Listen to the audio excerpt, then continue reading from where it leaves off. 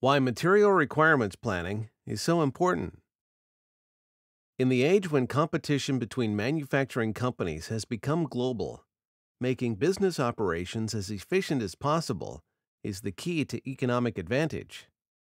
Unlike manufacturing companies 100 years ago, nowadays manufacturers compete not only with other local businesses, but also with other operations across the globe, both big and small.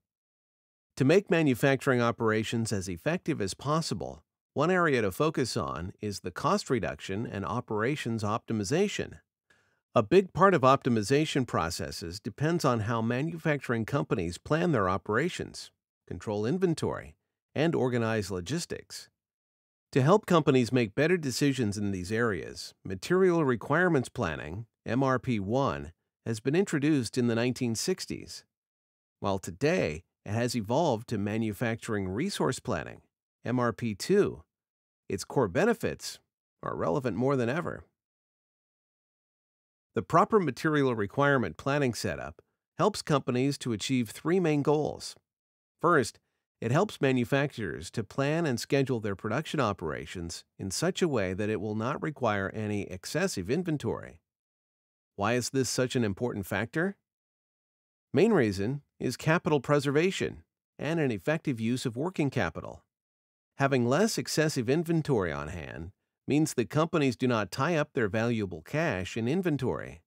They can remain liquid and use the funds on other needs, like expanding their operations, investing in new production lines, or organizing additional marketing campaigns.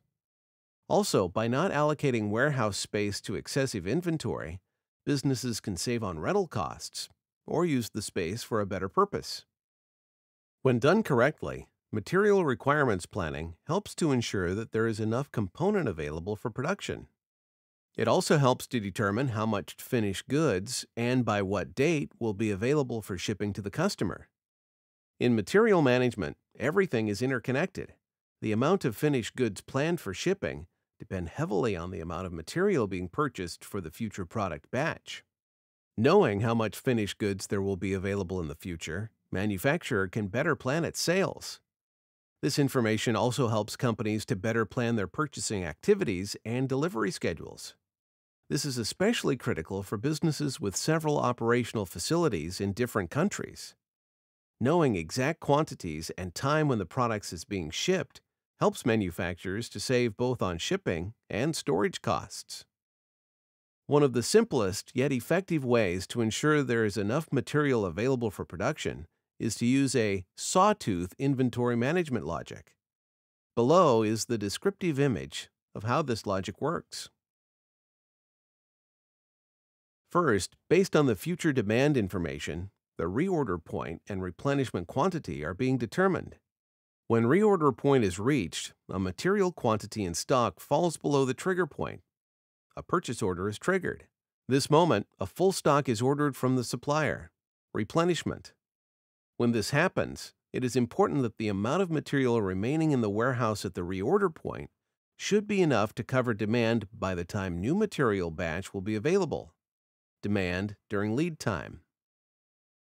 What are the biggest risks of not using any system for material requirements planning? The biggest would be, of course, not being able to meet contract obligations to supply product to the client at the agreed time. Customer is not interested to know the reason why the product that has been ordered long time ago has not arrived as promised. Most probably, such a client will change to a new supplier entirely, or will ask for substantial discounts in the future shipment.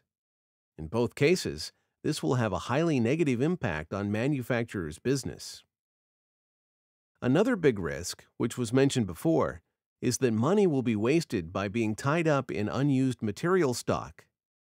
These funds are literally dead until finished product is sold and paid for by client.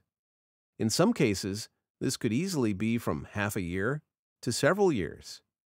While tying up working capital in inventory does not pose any direct risks to the company, it can easily slow down its development progress and makes it more vulnerable to sudden demand changes. The importance and the need for material requirements planning in the small and medium enterprises, and to bigger companies as well, is great. While there are still a considerable amount of companies relying on past data and their experience to determine amount of materials to purchase, more and more companies are switching to some sort of material requirement planning solutions. MRPeasy offers one of such ready-made solutions. Our MRP software includes not only material requirements planning, MRP1 features like inventory and supply chain management, but also cost control, equipment capacity planning, workforce control, payroll accounting, extensive statistics, and more, MRP2. This makes it a single piece of software any small or medium manufacturer would need for their manufacturing resource planning.